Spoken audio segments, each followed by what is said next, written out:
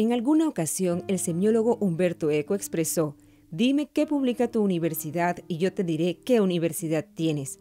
Y los hechos muestran que, para el caso de Colombia y el Caribe, se registra un fuerte impulso en la producción editorial universitaria, al punto que fuentes especializadas en el tema la considera como uno de los actores más importantes de la industria cultural y bibliográfica del país. Es así como por parte de la Universidad del Norte se denota una interesante actividad que ha derivado en 40 títulos publicados, 25 en proceso y el 45% de su catálogo dispuesto en versión impresa y digital, así como uno de sus principales logros ha sido el reconocimiento por parte de Colciencias.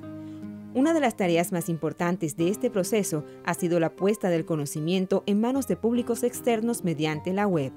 Hace ya, ya dos años y medio venimos trabajando en que nuestro catálogo, dada la tendencia que hay hoy, del tema de la lectura digital y de todos los dispositivos que hay para poder leer en tablets, en dispositivos móviles, eh, incluso en el mismo computador, etcétera. Nosotros hemos venido convirtiendo nuestro catálogo eh, en versión digital y de hecho también estamos trabajando producción 100% digital y es lo que nosotros tenemos actualmente. El trabajo que desempeña Uninorte en este campo es acorde con las tendencias que vive el país, donde se reconocen actualmente 15 editoriales universitarias con una producción equivalente al 15% del total generado. Con este escenario, la editorial Universidad del Norte perfila sus actividades para el año 2013. Bueno, uno de los retos importantes que tenemos es el, el tema de la Feria del Libro de Bogotá.